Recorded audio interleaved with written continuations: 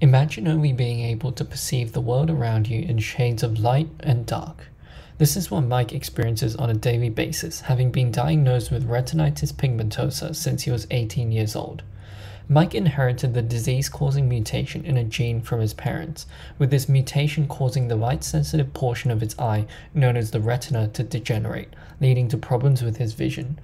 Unfortunately for Mike and the over 2 million people around the world affected by retinitis pigmentosa, no approved cure exists, but with optogenetics that may become a reality.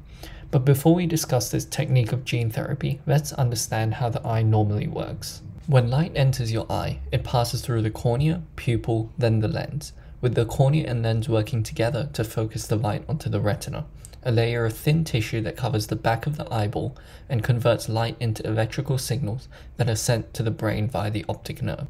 The retina is the part of the eye affected by retinitis pigmentosa, so let's have a deeper look. What we see are several different cells that act as a pathway for which light is converted into electrical signals. The first cells in this pathway are the photoreceptor cells at the back of the retina. They are covered in light-gated ion channels known as rhodopsins. When light hits the rhodopsins, they open, allowing sodium ions which are positively charged to enter the cell. The charge within the cell increases until an electrical signal or action potential is released and carried by the bipolar cells to the retinal ganglion cells, where the electrical signal continues to the brain via the optic nerve. The experimental treatment Mike underwent is known as optogenetic therapy, a technique consisting of two steps. Firstly, the introduction of genes, then the controlling of the gene product through light signals. The first step uses an adeno-associated viral vector, a genetically engineered virus to deliver genes that encode for a rhodopsin known as ChrimsonR to the retinal ganglion cells. The purpose of this is to integrate the function of the photoreceptors into the retinal ganglion cells.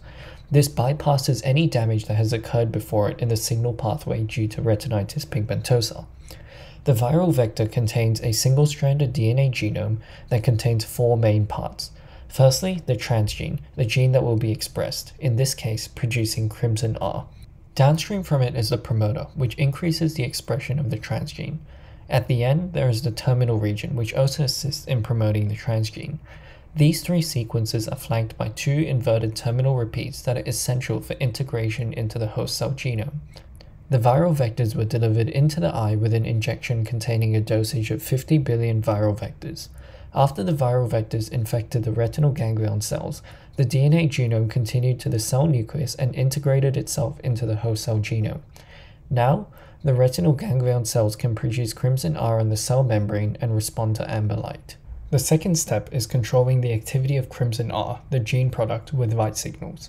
Now that Mike's retina can respond to amber light, a special type of goggles was worn that uses a camera to convert his surroundings into flashes of amber light, which were then projected onto his eye. Then, the retina works the same as what we saw before, converting light into electrical signals. What the researchers found was a truly amazing partial restoration of vision in Mike. Before putting on the goggles, Mike could not identify where a notebook was on a table in front of him. But when he put the goggles on, Mike could perceive, locate, and touch the notebook almost every single time. There were also meaningful improvements to his daily life, such as being able to find furniture in a room or a door in a corridor, but they were only seen when he was wearing the goggles. As you can imagine, injecting something artificially produced and foreign to the human body can cause an unwanted immune response. To ensure the treatment was as safe as possible, a proof of concept was done on a different primate, the crab-eating macaque. In that investigation, the team concluded that a dosage of 50 billion viral vectors did not cause a significant immune response in the macaque. As such, Mike received the same dosage, also with no significant immune response or side effects. Additionally, the same study on macaques influenced the design of the viral vector, with the team finding that the expression of ChrimsonR increased when the transgene also encoded for tdTomato, another protein. This resulted in a more effective viral vector. This study on Mike was the world's first peer-reviewed documentation of partial visual recovery in a patient with a late-stage inherited retinal disease.